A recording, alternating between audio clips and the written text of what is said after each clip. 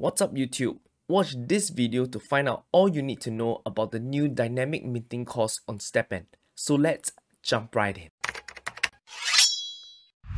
So some of you have been asking me to do a video about the new updates to the dynamic minting course on StepN and this is the video and you can find out the full details of this in the StepN white paper on the official website. But here I've just taken a snapshot of all the information from the white paper and I'll be analyzing the different changes that they have rolled out and perhaps even to give us an insight about what that means going into the future. And the first change that I have to highlight is actually about the GMT to GST cost ratio. And apparently this is a factor to be considered in the app right now. And depending on the GMT to GST cost ratio, different rules for shoe minting will be applied. So as you can see, for the first section, when the price of GMT is less than GST, these are the minting costs that will be applied.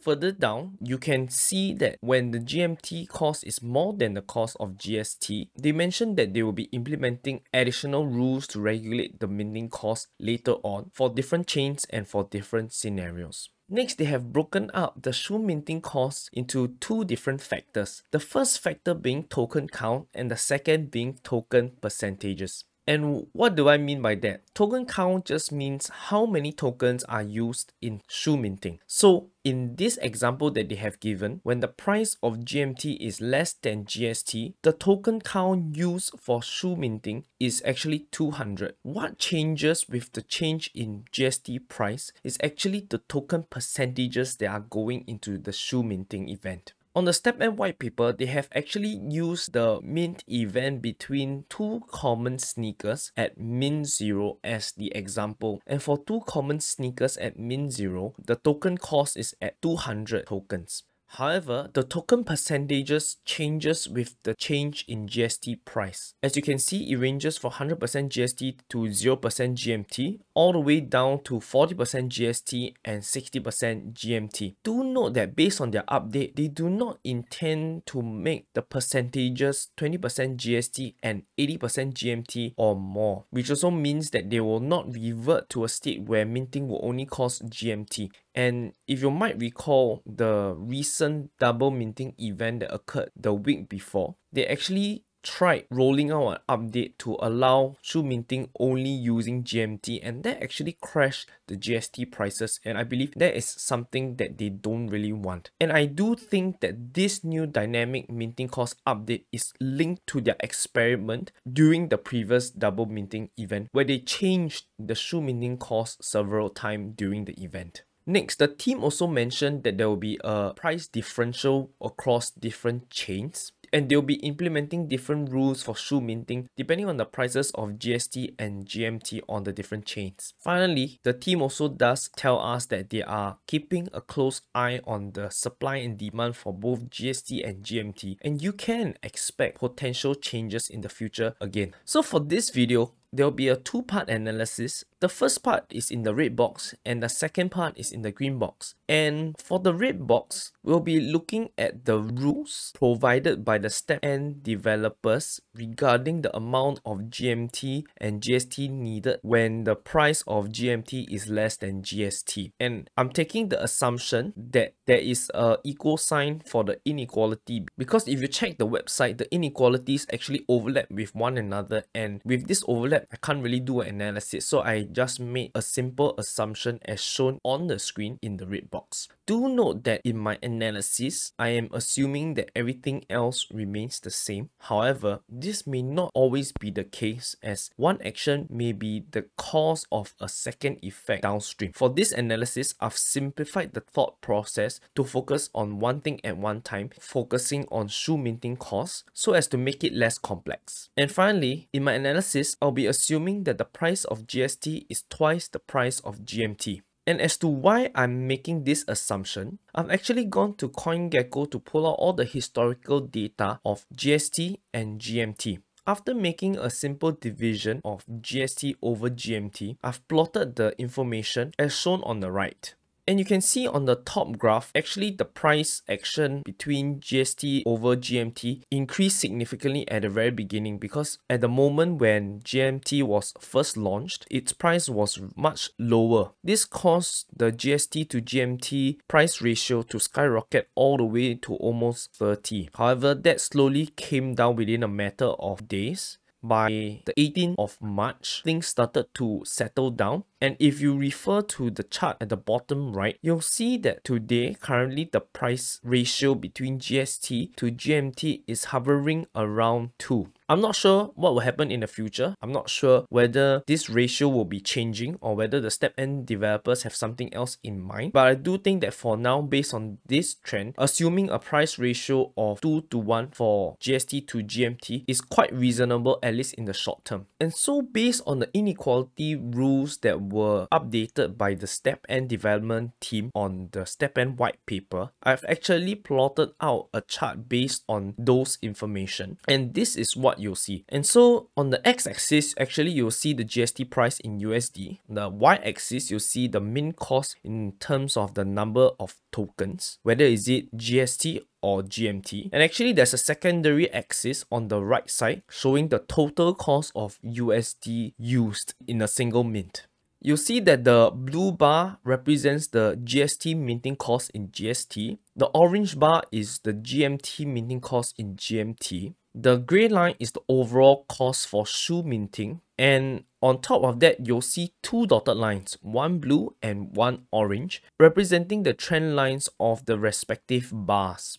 And I think based on the chart, we can have multiple observations. And the first observation here is that the GST price only affects token percentage, not token count as we sum up the total tokens required for shoe minting throughout the different prices of GST, it always sums up to 200 and so you know that the StepN development team is not changing the token count but just changing the token percentage. The second observation is that the mint cost continues to increase with increasing GST prices. So even though we are reducing the amount of GST being used in the shoe minting, the relevant increase in the GMT cost actually offsets this GST cost. And you can see that as the GST price increases, it will cost more and more for anyone to mint a shoe. The third observation is broken up into several parts. And the first part is that you can see that there is a balance range where the GMT cost and GST cost is equal to one another, 50% to 50%. And this occurs between 4 to $8. There's a second range which has a faster change between 1 and 4 dollars where you can see the dotted curve being relatively steeper than the change on the other side. And this other side is actually the slower change range. This ranges from 8 to 10 dollars and onwards. And as you can see the slope of the dotted curve is a lot less steep. If looking at the dotted curves is confusing for you perhaps you can look at how the different bars are moving. If i may just bring your attention to the blue bar on the left you can see that it actually requires 200 GST at a GST price of $1 and this actually drops by 40 when the price of GST is $2 and this continues to drop to 120 when the GST price is at $3 and so you can see for every increase in dollar there is always a drop in 40 GST. However, if you look at the blue bars on the right side, from 7 to $8, there's actually a drop in only 20 GST. And from 8 to $9, there's no change in the GST amount. And the next change actually drops from 9 to $10, dropping by 40 GST.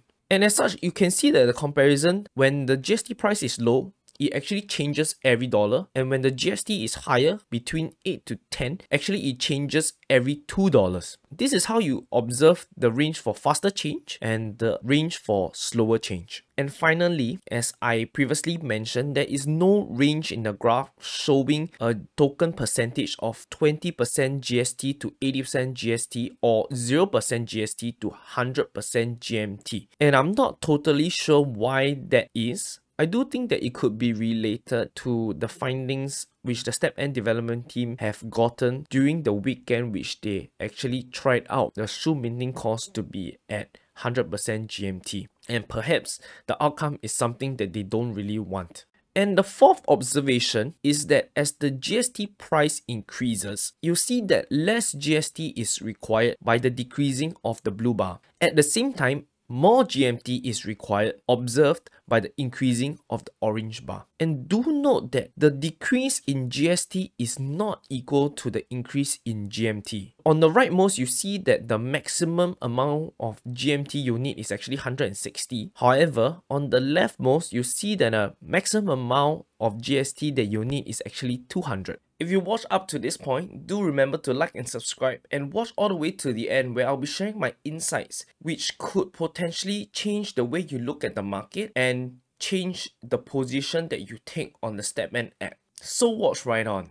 And so for observation 1, we see that the GST price only affects the token percentage and not the token count. And in my opinion, I do think that this could be a way that the StepN developers is trying to push the price of GMT to be equal to GST because they don't want to actually change the amount of tokens required for shoe minting but they just want more people to use GMT instead of GST. And the second observation is that the mean cost continues to increase and this actually means that the opportunity cost to mint new shoes continues to increase with increasing GST prices. And GST is the main token that you earn through the activities on the Step StepN app and is actually the main means of cashing out your profits daily. And as the price of GST increase, it also means that more people will be tempted to cash out their profits by selling their GST. This will need to be balanced with the opportunity cost of using these GST to further enhance your shoe or further enhance your assets, whether is it to increase the level of your shoe or in this case to mint new shoes.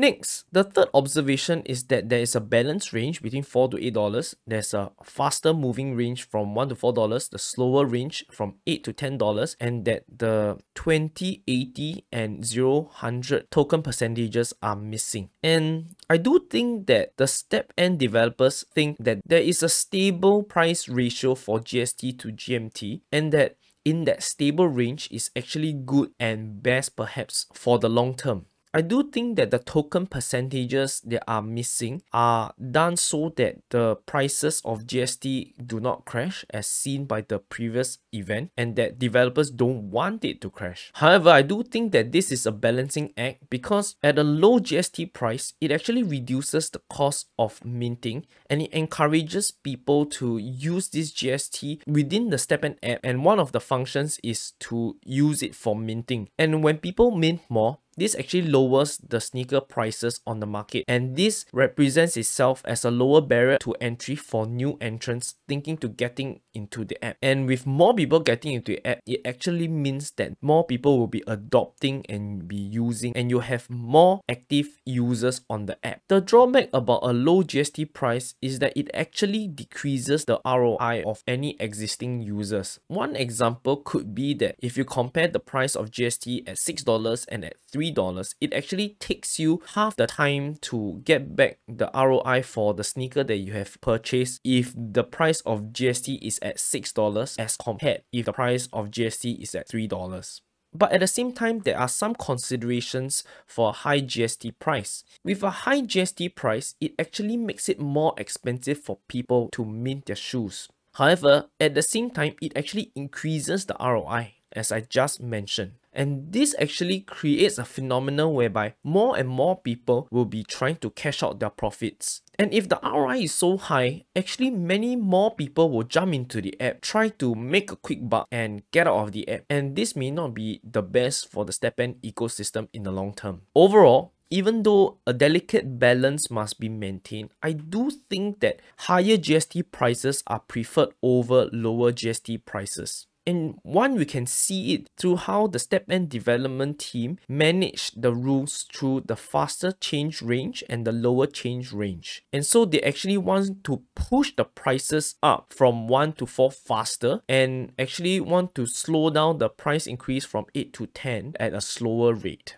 And finally, the fourth observation is that as GST prices increase, less GST will be required and more GMT will be required. This is because people will earn GST through daily activities and will need to swap out their GST for GMT for different purposes and here including for minting. And this actually creates a sell pressure on GST and a buy pressure for GMT. And as such, the price pressure for GST is down and the price pressure for GMT is up. For the second part, the STEPN developers did tell us some consideration for shoe minting rules. And the minting rules will be dependent on the GST to GMT ratio. And this actually will affect the token count, not only the token percentages. And as you can read on the white paper, if GMT goes to the point where it's more expensive than GST, then they'll start considering changing the token count required for shoe minting. From this, we also know that the development team is keeping a close eye on the on-chain conditions for the two different blockchain, both on Solana and on Binance Smart Chain. We also see that the shoe minting rules will depend on the current state of demand and supply in the market. This could be due to events that the STEPN development team have rolled out by themselves. One example of such could be the double minting event or the double GST event which the development team did tell us about. Or it could be external changes, for example, like currently the crypto market as a whole is going down and that could actually affect the price of smaller tokens like STEPN. Furthermore, because the team did mention that they will be rolling out different rules for different on-chain conditions for Solana and for the Binance Smart Chain, I do think that there might be plans to equalize the prices and liquidity between Solana and BSC. And one of the actions I do think that the team has been taking is to airdrop Genesis and new BSC sneakers to existing holders. And I do think that this is to encourage existing users to move onto the BSC and also to encourage minting there such that the price and liquidity will be driven down so that more new entrants can actually enter the STEPN add on the BSC chain. And as you can see, shoe minting is a key activity in STEPN because it actually affects the prices of GST, GMT, and also for sneaker prices. And I do think that the STEPN development team is using shoe minting to influence the demand and supply for GST and GMT, and that in turn affects its prices. Based on the rules that they have rolled out for the shoe minting events, I do think that they envision that there will be a stable price range for GST to be in for the long-term sustainability of STEPN. The team has actually created more mechanisms to increase the sell pressure of GST when the price of GST increases. On the flip side, it also increases the buy pressure of GMT when the price of GST increases. And as such, if you were considering to hold GST for the long term, hoping to earn from its long-term price appreciation, maybe you want to reconsider doing so because of this mechanism and perhaps many others that they will roll out. GST is unlikely to rise in price very much, at least not very much past $10 as what you can see in the rules because the team didn't really cater for any rules past $10. Not financial advice, but you can consider taking profit in other tokens like GMT, Solana, or a stablecoin like USDC. And one very important thing to note is that the game is still in beta and so you need to take into account and expect changes along the way, especially in the future. And one action that you can guard your own interest is to take profits along the way as there might be major changes that could dramatically change the position that you take on StepN and that could change the position of your investment on StepN as well. Overall, I do think that in the short term, it may be confusing and frustrating for some of the STEPN users, but I do think that these changes are in line with the development team to make STEPN a sustainable game in the long term. And I also do think that for everyone to benefit, it is best for STEPN to be sustainable in the long term to increase in adoption and for more people to come into the app. And I do think that these changes are helping us to work towards such a future. That's all for this video. Do remember to like and subscribe and if you can, drop a comment down below on what video you want me to make next. Since shoe minting is such a key event in STEPN, watch this other video to find out all you need to know about shoe minting on STEPN. See you next time.